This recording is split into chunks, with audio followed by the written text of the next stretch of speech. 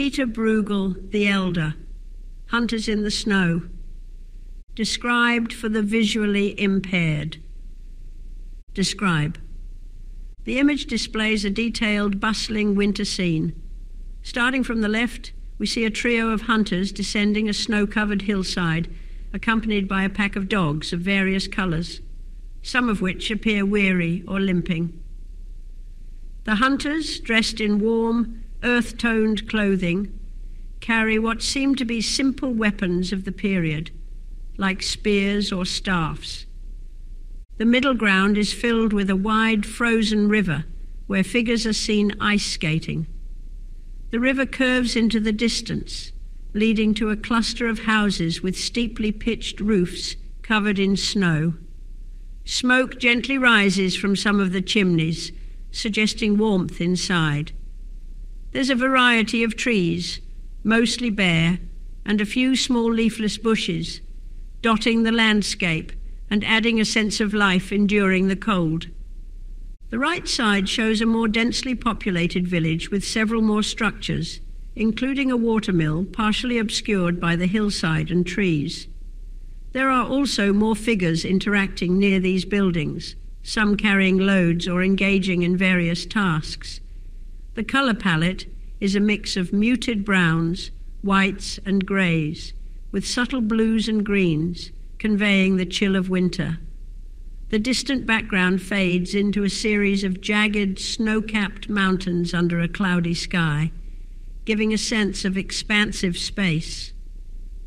The painting is rendered with fine brushwork, indicative of oil on canvas or wood panel, and it demonstrates skilled layering of paint to create texture, especially in the depiction of the snow and the trees.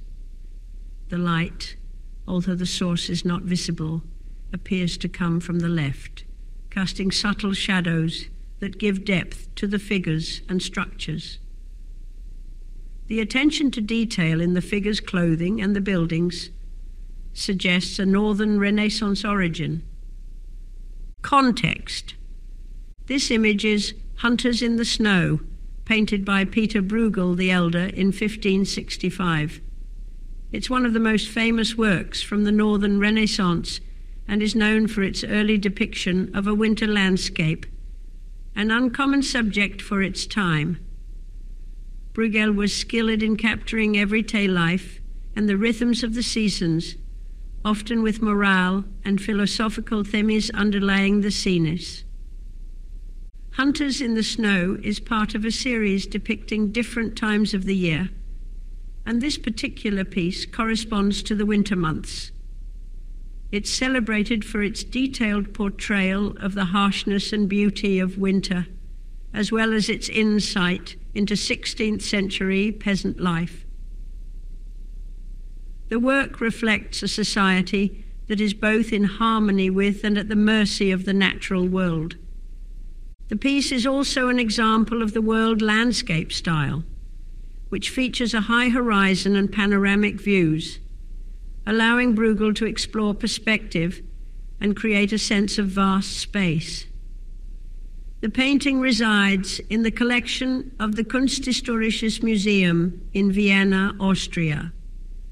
In terms of social aspects, Bruegel's work is significant for its humanistic approach, depicting the peasantry with dignity and a sense of agency, which was relatively progressive for the time and would influence later art movements.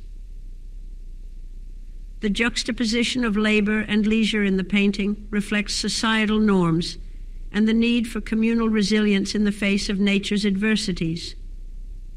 For art lovers, by art lovers, share and follow. Artful Blind Chat GTP AI for the visually impaired and all art lovers.